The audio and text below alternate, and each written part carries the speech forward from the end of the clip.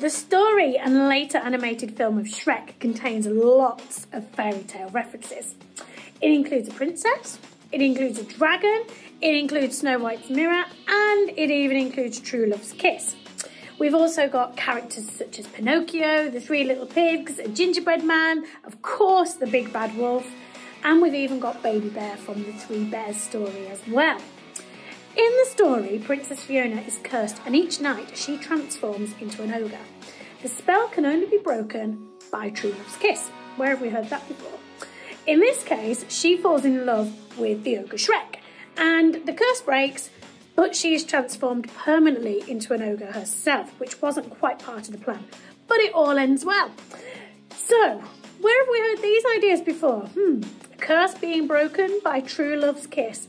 I'll leave you to have a think about which fairy tale we might have heard that before.